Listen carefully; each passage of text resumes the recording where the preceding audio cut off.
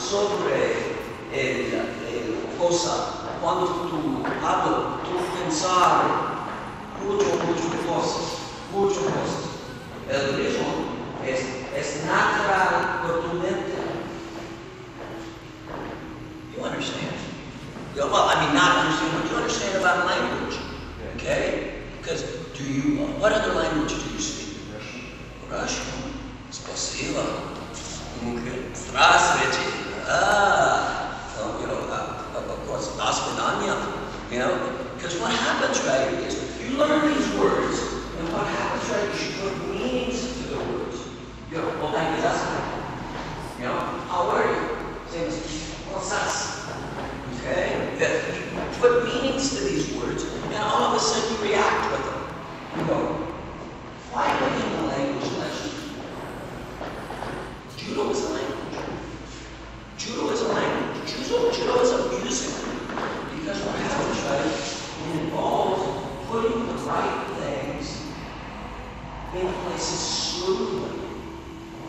Smoothly. You know, uh, uh, what happens, right, is this.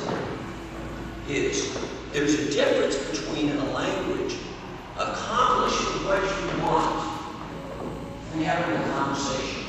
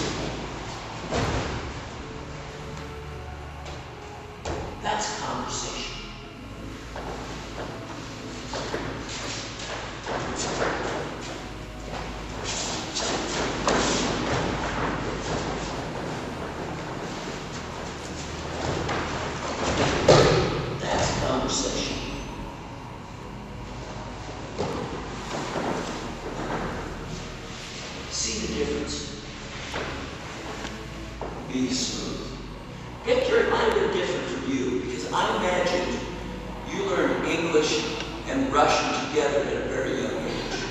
Uh, kind of. I was like five years old when I started. Yeah. So, you know, it was a very, very young age. So, in other words, you learned, them because you pro- both languages are probably dominant for you.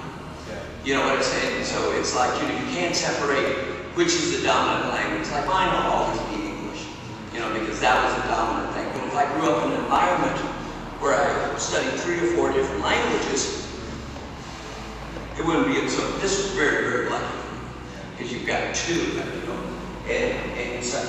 But it's the same way with martial arts. Get to the point where it's just natural, where you speak smoothly. You know, there's a saying, right?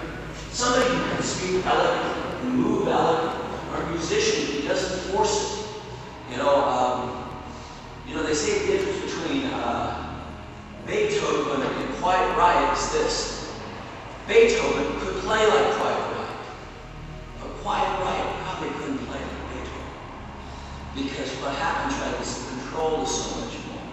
Make your judo classical, very smooth, very elegant. You can always add the power. You can always add the power. You know, it's just sort of like sometimes a Marine infantry officer, you know, my goodness, right? He can have dinner with kings and queens and eat very elegantly and say the right words. But in the field, he also can speak the language of the grunt or the guerrilla. Okay? Violent. So what happens? Right? The same way to play. But the thing is, it's very hard. You once you are smooth, you can use power. but it's very hard to use power and then learn stimulus. Okay? Learn, learn the stimulus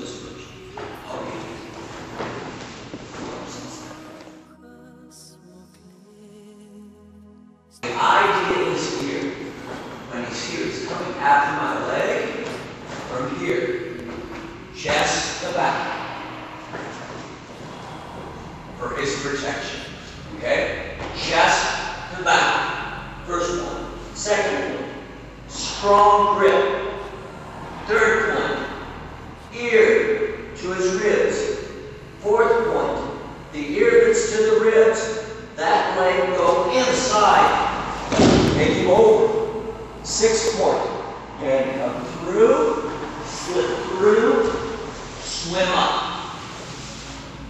Coordination. Grip here. Ear to the side. Right foot. Up in.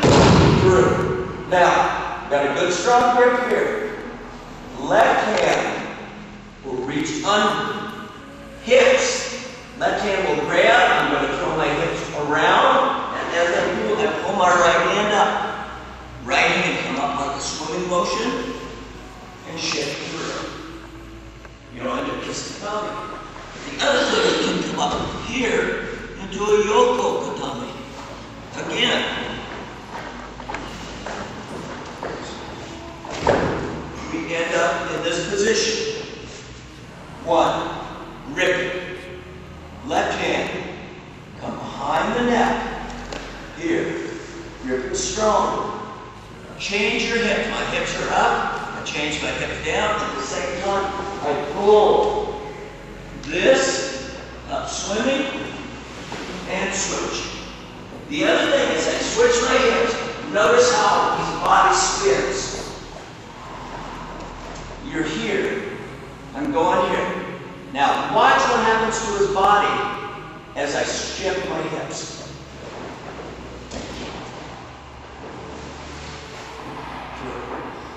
One more time. We start in this position. One. Left hand come around behind the neck and grip. Now from here, I'm going to shift the hip and I'm going to pull the right arm. Watch what his body